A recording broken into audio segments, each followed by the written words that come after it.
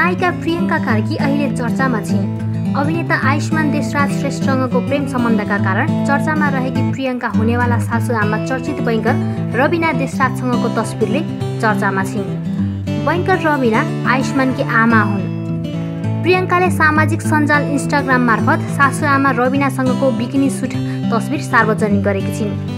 तस्विरमा प्रियङ्का र रविना निकै हट देखिएका छन्। उनीहरूलाई स्विमिङ कामुक देख्न सकिन्छ। बिदाको दिन मनाइरहेको भन्दै परिवारसँगको केही तस्विर रविनाले पनि आफ्नो इन्स्टाग्राममा राखेकी थिइन्। तस्विरका प्रियङ्का प्रेमी आयुष्मान पनि देखिएका छन्। यता प्रियङ्काले पनि आफ्नो इन्स्टाग्राम मार्फत बिदाको दिन आयुष्मान र उनको परिवारसँग मनाइरहेको तस्विरहरू सेयर गरेकी छिन्।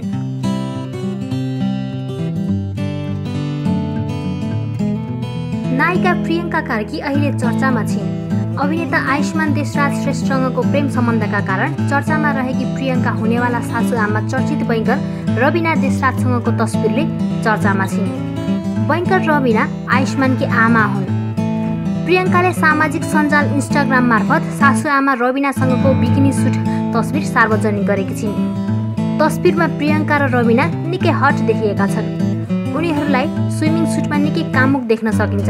बिदाको दिन मनाइरहेको भन्दै परिवारसँगको केही तस्विर रविनाले पनि आफ्नो इन्स्टाग्राममा राखेकी थिइन् तस्विरका प्रियङ्का प्रेमी आयुष्मान पनि देखिएका छन्।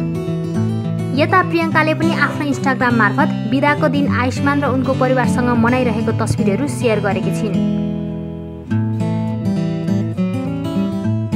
तपाईँहरूलाई यो भिडियो कस्तो लाग्यो? कृपया प्रतिक्रिया दिनुहोला।